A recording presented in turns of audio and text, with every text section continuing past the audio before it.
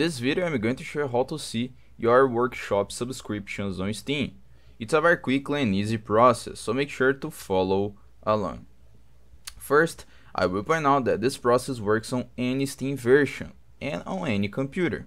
First, you need to open your Steam account, okay, log into your Steam account.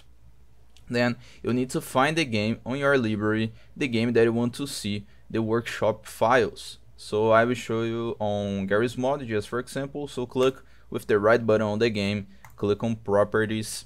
You will see some options. You need to click workshop below controller.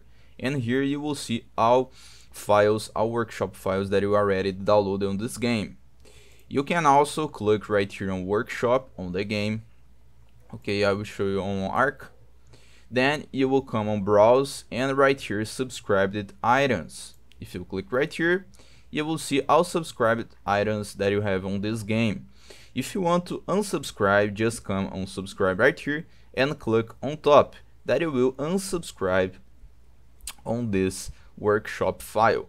And that's it, you already see your workshop subscriptions. I hope I help you how to see workshop subscriptions on Steam. So if this video helped you in any way, hit the like button and subscribe to our channel to receive useful tips.